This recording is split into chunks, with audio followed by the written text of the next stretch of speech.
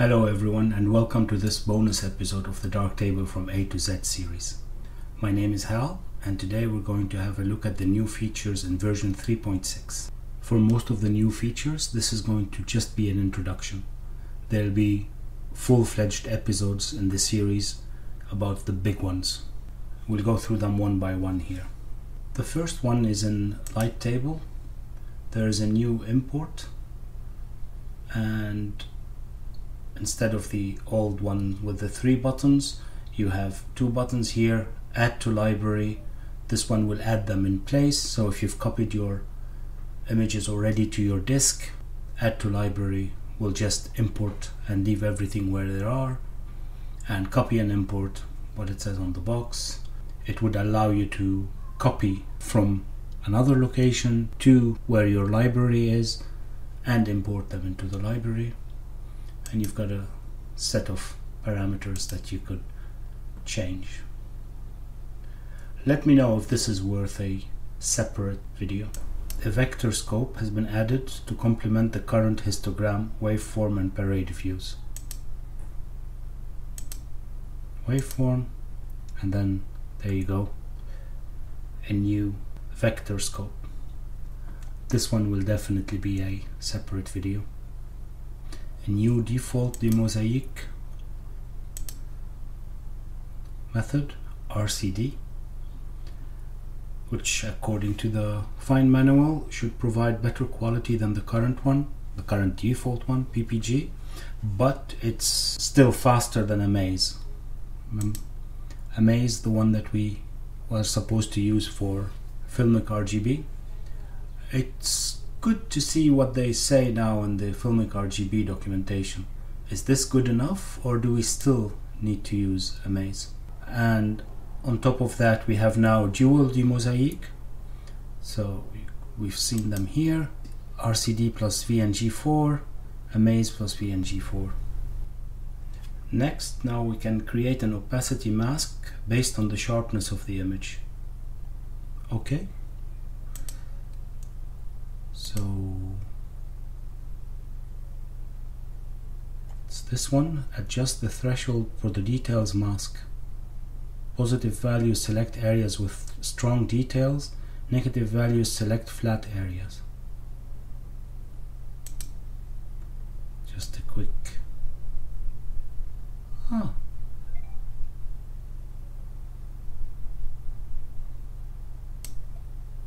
Well again. I'm not sure if this is worth a video all by itself. I might combine a few of the easier ones into a single video to go a little bit in details in them. The next one as well is for the masks but I have to admit I did not notice it and I did not know that it happened before.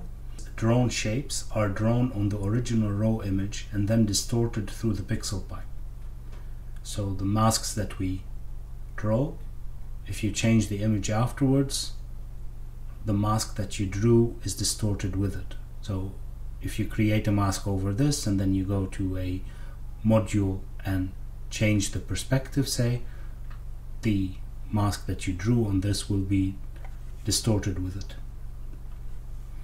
This previously led to circles becoming ellipses due to lens distortion, for example after being placed on the image. Now all drawn shapes can be pre-visualized and moved prior to placement with full deformation applied. This makes the editing of mask easier and fully WYSIWYG. Okay, sounds good, but like I said, I didn't notice it before. That's probably because I don't use a lot of uh, modules that distort the image. Let me know if you have noticed it and if that's something we should look into in depth. Next, there is a new color balance RGB module. Hurrah! Just mastered the previous one, there is a completely new one. Look, we're not going to be bored. This is going to be not just one video, but probably a few. And I would like to go into this one as soon as possible.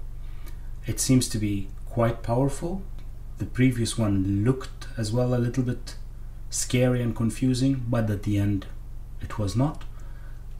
I'm sure this one is probably more difficult, but we'll see. The new the documentation says it's a new color balance RGB module has been added. This can be used as a one-stop module for all color grading work. Excellent. Can't wait. And another module has been added as well. It's called censorize. Let's read from the documentation. It says a new censorize module has been added. This allows you to hide parts of the image by adding a blur pixelization this has been added to add those blurs that are required by social media for some photos. I uh, posted jokingly on one of the developers' uh, Instagram. I said, uh, "Oh, this is going to make for a very nice video tutorial," jokingly, and he replied saying, "No, it's self-explanatory. No video tutorial is needed." There goes my whole series. and my sense of humor.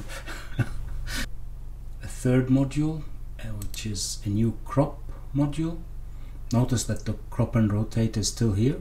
Let's see what the documentation says. A new crop module has been added. This new module has been added late in the pixel pipe and makes it possible to use cropped part of the image for source spots in the retouch module, for example. That's nice.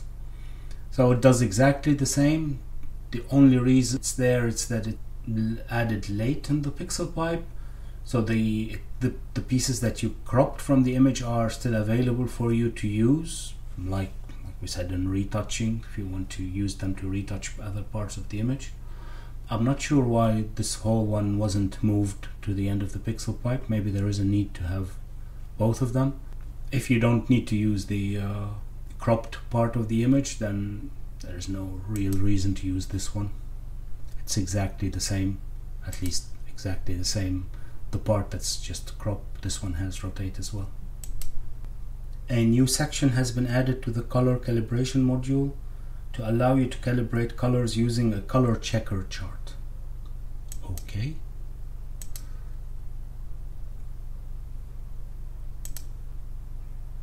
Where is that? Ah, here. okay. Wow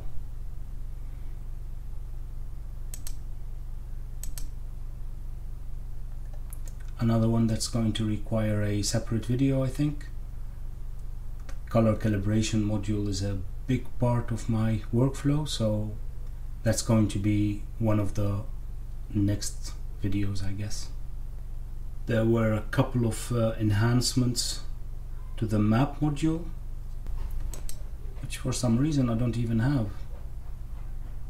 Hmm. Or maybe because I don't have any, no, I should be able to see it even if I didn't have any location data. Okay, interesting, something to check. So the map module has been enhanced in a number of ways. When importing a GPX, the trace can be displayed. Location can be set using polygons and directly created from information reported by OpenStreetMap.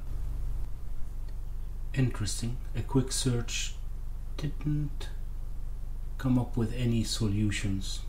Either I've hit a singular problem or the problem exists between the chair and the keyboard, which is as well possible. Now the question is, why didn't you check this before doing a video about it? Well, I did check all the others. I did not think I would have a problem with the map module. There you go. Well, moving swiftly along, there is in Darkroom a new quick access panel which you can use for the basic adjustments if you don't want to go through the modules one at a time. again it's probably not worth a whole video by itself but we'll discuss it with some other minor adjustments or minor changes in a single video. A really nice change is that we now have the export module as well in the darkroom view which lets you change the settings of your export. You could always export from darkroom with control E, but at least now you can change the settings without having to go back to light table. And in light table, there's this new addition which lets you change the views with an easy icons on the bottom and in this view you can use escape to go back out. Another nice change is in contrast equalizer. If you remember here the mix used to disappear if you go out from dark uh, room or even when you go out of the uh, module I can't remember I think it was when you leave darkroom anyway it used to be that if you made changes and then changed the mix the mix is applied to your changes at a certain point. Now it doesn't. It stays like this. So if you've made changes and set it to 0.5 it will stay here as 0.5 okay there are as well the a few minor features that I'll go through them. Following modules have been deprecated. There's no more basic adjustment modules because it's been replaced by the quick pan access panel that we just saw. The vibrance module is disappeared as well. Now we have to use the vibrance control and the new color balance RGB module. A spot removal module has been replaced by the retouch module and the defringe module has been replaced by a new chromatic aberrations module. The old module has now been renamed to raw chromatic aberrations. Scene referred workflow is now the default. You can still change it, but it's now the default. And the escape key can be used to exit the slideshow view. You can now control click on the module groups preset button to actually access the manage dialog directly okay handy. The rest are all under the hood improvements and there is a new user manual. Uh, the link is going to be in the description as usual and I'm going to take this opportunity to thank everyone who's involved in this project. It's a great software. I use it all the time and I would like to encourage you all to go help out in any way you can if you can. That's it for this video I hope that you found it interesting. If you have any questions, requests, or corrections, please leave them in the comments below, and I'll see you next time. Bye bye.